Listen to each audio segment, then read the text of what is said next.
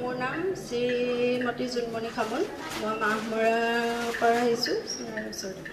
মই মানে পোন্ধৰ বিছ দিন হ'ল চুগাৰ বেমাৰত মানে ভুগি আছোঁ দেই। পাঁচশ ঊনৈছ ওলাইছোঁ তেজ সেই পাঁচশ ঊনৈছ ওলাই। তাৰপিছত টেবলেট খাওঁ পাঁচদিনা মানে চকুৰে একেবাৰে নেদেখা হৈ গ'লোঁ মই মানে টেবলেট খোৱা পাঁচদিনামান দিন।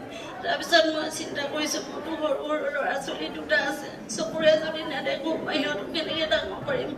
তাৰপিছত কি কৰোঁ কি নকৰোঁ লাগিছে। তাৰপিছত হেৰি গধূলি সময়তে মই মানে গধূলি সাঁজটো ভাত নাই খোৱা লগুণ পাত দিছোঁ ঈশ্বৰক মই প্ৰাৰ্থনা কৰিছোঁ সেই ঈশ্বৰ প্ৰভু তুমি যদি সঁচাই অন্ধৰক দৃষ্টি দিছা খুৰা খোজ কাঢ়াইছা।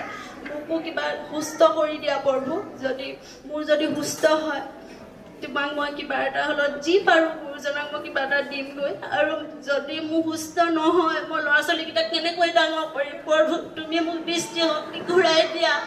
আজি ৰাতিৰ ভিতৰত মই ৰাতিপুৱা কাইলৈ চকুৰে দেখি পাওঁ। প্ৰভু মোক শক্তি দিয়া চকুৰে দৃষ্টি দিয়া বুলি কৈছোঁ। মই ৰাতিপুৱা শুই দিছোঁ সম্পূৰ্ণ চকুৰে দেখিছোঁ মানে মানুহজনক কৈছোঁ কান্দি কান্দি মই আজি মোৰ চকুৰে দেখিছোঁ।